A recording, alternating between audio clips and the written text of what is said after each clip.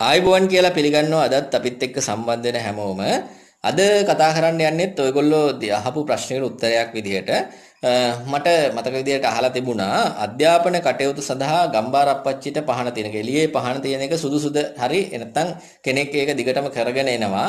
ඒ අධ්‍යාපන කටයුතු ඉවරනවා. අපි හිතමු සාමාන්‍ය පෙළ උසස් පෙළ හෝ ඒ අධ්‍යාපන කටයුතු ඉවරනාට පස්සේ ඒව නවත්තලා දැමීම සුදුසුද කියලා අහලා තිබුණා. මේ හැබැයි මේක සම්බන්ධ කරගෙන තිබුණේ මේ ගම්බාර අප්පච්චිත් එක්ක. ඉතින් මට නම් එහෙම මේ දැන් ඔයගොල්ලෝ අහන ප්‍රශ්නේ උත්තරේ වශයෙන් කතා කරුවොත් මට නම් එහෙම පිළිබඳව අදහසක් දැනෙලා නැහැ. කියන්නේ අධ්‍යයන කටයුතු සඳහා يعني අපි දැන් පොතපතේ අධ්‍යයන කටයුතු සඳහා මේ ගම්බාර අපච්චිට පහන තීම සුදුසුද කියන එක. මොකද අපි ගම්බාර අපච්චිට පහන තියන්න කියලා කියන්නේ එහෙම නැත්නම් එදියේ ගම්බාර දෙවියන්ට පහන තියන්න කියලා කියන්නේ මේ වගේ වෙද වෙදහෙද ශාස්ත්‍ර, යంత్ర මන්ත්‍ර ගුරුකම් ශාස්ත්‍ර එහෙම නැත්නම් තමන්ගේ නිවසට ආකර්ෂණය ඇති වෙලා තියෙන හදිහුණියම් බන්ධන ඉවත් වෙලා gedara සාමයෙන් සතුටෙන් ඉන්න පුළුවන් වෙන්න ඒ වාගේ කටයුතු සඳහා තමයි මේ ගම්බාර අපච්චිට අපි පහන තියන්නේ. අපි ආල් තියෙන සිද්ධ සූනියන් දෙවියෝ කියලානේ තියන්නේ. ගම්බාර සිද්ධ සූනිය. ඒතකොට සිද්ධ සූනියන් දෙවියෝ කියපහම මේ මේ මේ අධ්‍යාපන කටයුත්තක් ගැන එතන කියවෙන්නේ නැහැ.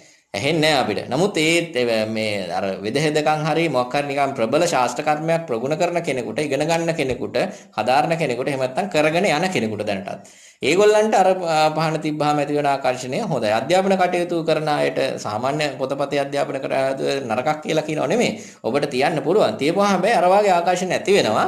ඇති වෙනකොට සමහරට ඔබට වෙනත් බලපෑමක් ඇති වෙන්නත් පුළුවන්. ඒ නිසා සිහි බුද්ධියෙන් ඒවා කරන්න එපා කියලා කියනව නෙමෙයි මේ.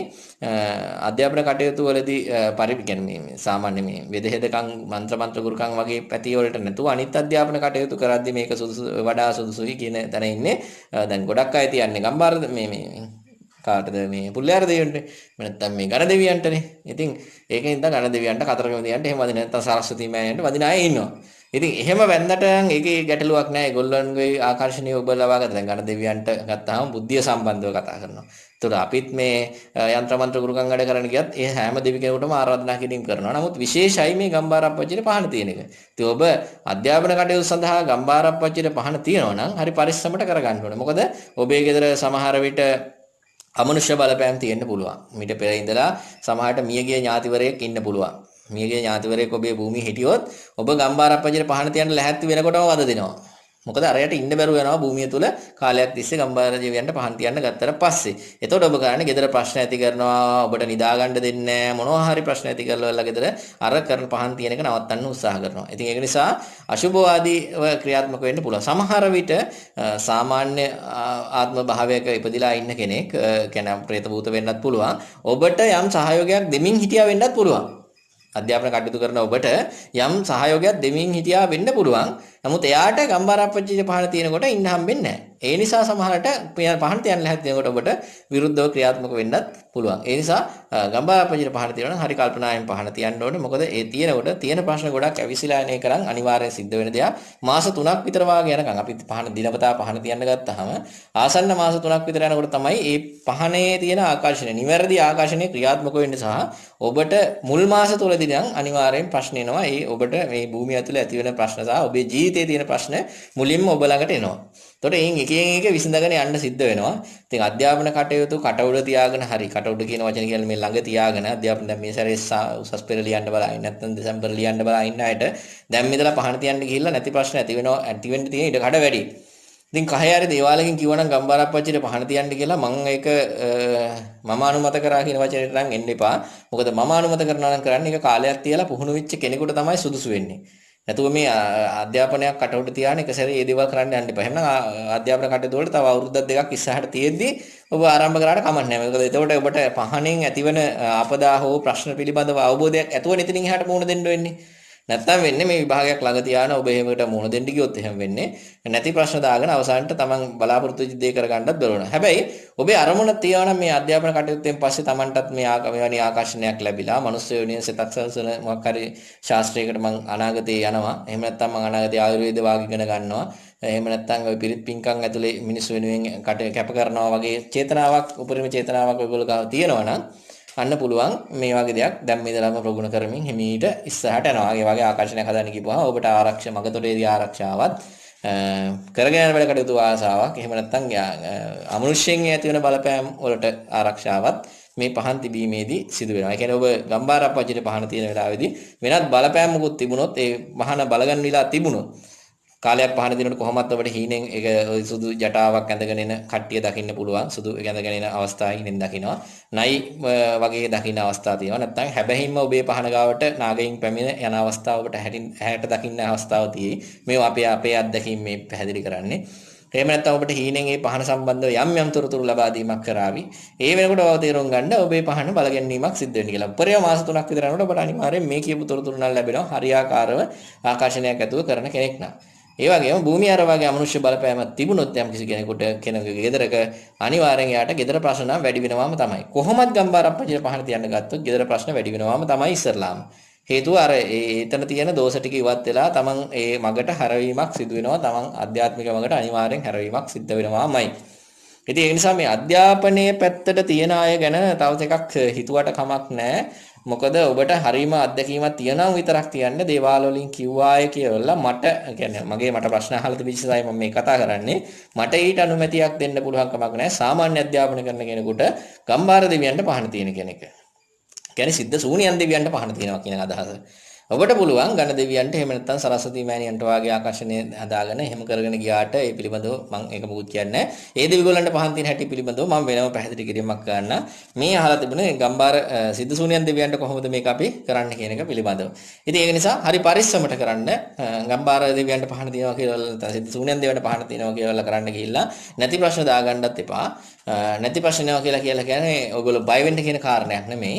අර හැම දෙයක්ම ඇවිස්සලා ඇවිල්ලා ඔයා ඕගොල්ලන්ව ක්‍රමානුකූල ආධ්‍යාත්මික අරමුණකට යොමු කිරීමක් අනිවාර්යයෙන් සිද්ධ වෙනවා. එළිය පහන තියන්න ගත්තොත් නිවැරදිව. ඒ පහන තියෙන දිශාව පහන තියෙන ආකාරය ගාථා කන්නලව කරන ආකාර ඒ පිළිබඳව මම වීඩියෝස් දාලා තියෙනවා. ඒවා ඔයගොල්ලන්ට ගිහිල්ලා බලලා. ඒ කරන්න ආසාය කැමති අය පිළිවෙලකට ඒව කරගන්න පුළුවන්. මෙතනදී මම කිව්ව පළියට ඔබ කරන්න යන්න එපා. ඔබත් අහලා තියෙන තොරතුරු එකතු කරගෙන මේ තොරතුරුත් එකතු කරගෙන පිළිවෙලකට කරන්න උත්සාහ කරන්න කියන එක තමයි මතක් කරන්නේ. මෙතන මේ කරන්නේ මේ මේ හැම වීඩියෝ එකක් කරාම අපි කරන්නේ ඔබ වෙන තැනකට පෙළඹවීමක් නෙවෙයි මේ ඉදිරි කාල සීමාවෙදී මේ මහ පොළොව තුළ යම් කාරණා මාලාවක් සිදුවීමට තියෙන බව අපි පහුගිය වීඩියෝස් වලදී විඩින් විඩේ කිව්වා. එතකොට ඒකට අදාළ සුදුසු පිරිසක් මේ වෙනකොට උපාද වෙලා තියෙනවා. උපාද වෙලා නිසි වයසට පැමිණලා තියෙනවා. ඒ අයට සූදානම් වීම උදෙසායි මේ පණිවිඩ ලබා දෙන්නේ. මේ පණිවිඩ ලබා දෙන්නේ. එතකොට Tamanට දැනෙනවා මේ කතා කරන්නේ මටද කියලා දැනෙන්න පටන් ගන්නවා. ඒගොල්ලෝ ඉබේම ක්‍රියාත්මක වෙන්න පටන් ගන්නවා. අන්න ඒ අයට අත්උදව්වක් විදිහට තමයි මේ වීඩියෝස් ලබා දෙන්නේ. එහෙම නැතුව මේක අහන හැමෝටම අපිටත් පුළුවන් වරමක් අරගෙන මිනිස්සුන්ට පිට වෙන්න කියලා එහෙම වැඩ කරන්න පුළුවන් කමක් නැහැ. වරමක් හෝ එහෙම ආකර්ෂණයක් ගැනීමේ හැකියාව තියෙන සංසාරගත පුරුද්දකට තියෙන අයට පමණයි හරියටම වැඩ කිරීමේ හැකියාව තියෙන්නේ. ඒ වාගේ රාජකාරියට මහ පොළොවට පැමිණිය අයට පමණයි. එහෙම නැත්නම් තමන්ගේ මියගේ ඥාතිවරයෙක් ඔබට කැඹුරුමක් විදිහට ලබා දෙන වරමකදී පමණයි ඔබට එහෙම ගන්න පුළුවන්කමක් තියෙන්නේ. ඒකත් බලහත්කාරයෙන් ඥාතීන්ගෙන් ඥාති ආකර්ෂණය කරන ඥාතින්ට පින් දීලා එහෙම අරගෙන එහෙම වැඩ කරන්න ඔබට බෑ. එහෙම වැඩ කරන්න ගියොත් එහෙම සිද්ධ වෙන්නේ ඔබ නැති ප්‍රශ්න ගොඩක් ඔබට දාගන්න සිද්ධ වෙනවා. හැබැයි දේවාල වලට අඳුරන වලට ගිහිල්ලා ඔබ බලනකොට ඔබ වටා ඉන්න අර මළගේ ඥාතීන් ඔබට ආකර්ෂණය වෙන බවක් පෙන්눔 කරනවා. එතකොට ඒගොල්ලෝ කියන්නේ හවල් ඥාතියෙක් ඔබට හවල් වරමක් දෙන්න ඇවිල්ලා ඉන්නවා කියලා වගේ ඒ දේවාල වලින් කියවෙන්න පුළුවන්. එතකොට ඔබ හිතනවා ආ රයිට් මට මේ හවල් දේ කරන්න වෙන්නේ දැන් මම මේක ගත්තොත් හොඳයි. මටත් පින් රැස් වෙනවා. ඒ මළගේ ඥාතියටත් පින් රැස් වෙනවා.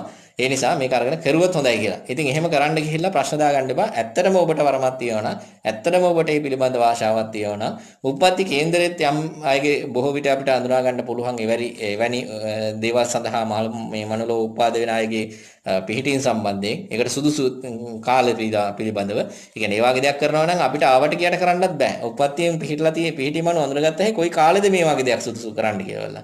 ඒතර මේ નિયમિત කාල සීමාවෙදී નિયમિત ප්‍රමාණය කරන්න අවස්ථාව හරියට තීරුම් අරන් ඔයගොල්ලන් කරන්න කියන එක තමයි කියන්නේ. නැත්තම් ඔයගොල්ලන්ට නැති ප්‍රශ්න දාගන්න සිද්ධ වෙනවා. ඉතින් මේ කියු කරුණු තේරුම් ගත්තා කියලා විශ්වාස කරනවා. ඉතින් එහෙමනම් මොන හරි ඔයගොල්ලන්ට තවදුරටත් ගැටලුවක් ඔයගොල්ලෝ කියන්නේ මේ මේ සම්බන්ධව ඇති වෙන ගැටලුවක් මොකුත් තියෙනවා නම් කමෙන්ට් එකක් දාන්න අපි ඒ සම්බන්ධවත් වෙනම වීඩියෝ එකක් විදිහට අපි වෙනම කතා කරමු හැමෝටම වැදගත් වෙනවනේ කමෙන්ට් එකක් විදිහට උත්තරයක් විදිහට ඔයගොල්ලන්ට කමෙන්ට් එකක් දැම්මොත් එහෙම වෙන්නේ ඒක ඔබට පවණයි. ඉතින් අනිත් අයත් වැදගත් නිසා තමයි ඔයගොල්ලෝ අහන ප්‍රශ්න මේ ආකාරයට විස්තර කිරීම කරන්න හිතුවේ. ඉදිරියටත් එහෙම විස්තර කරන්න ඔයගොල්ලන්ට නැති වෙන ප්‍රශ්න සියල්ලම දාන්න. ගම්බාරප්පච්චිට පහන තියෙන එක වරදක් නෙමෙයි. අධ්‍යාපන කටයුතු සඳහා පමණක් ඔබ ඒක කරන්න උත්සාහ කරනවා නම් අන්න එතන පොඩි ගැටලුවක් පවතිනවා. ඒක හරියට බලලා කරන්න. මොකද නැති ප්‍රශ්න දාගන්න එපා. විභාගයක් කට උඩ අනවශ්‍ය ප්‍රශ්නයක් මතුවොත් එහෙනම් ඔබට විභාගය කරගන්නත් බැරි වෙන්න පුළුවන්. ඒ නිසා හරි කල්පනාවෙන් කරන්න කියන එක තමයි අවසාන වශයෙන් ඉල්ලන්නේ. ඉතින් එහෙමනම් මේ වගේ වැදගත් වීඩියෝ දිනපතා නරඹන්න වෙනවා. දාන හැම එකම නරඹන්න කියලා ඉල්ලනවා. මොකද හැම එකම වැදගත් කරුණු කතා කරන හින්දා. සබස්ක්‍රයිබ් කරලා නැත්නම් ඔන්න අද මතක් කරනවා සබස්ක්‍රයිබ් කරගන්න අලුතෙන් කෙනෙක් නම් සම්බන්ධ වෙලා ඉන්නේ. ඉතින් එහෙනම් මේ වගේ වැදගත් වීඩියෝවක් අලුතෙන් අරන් එනවා එනකන්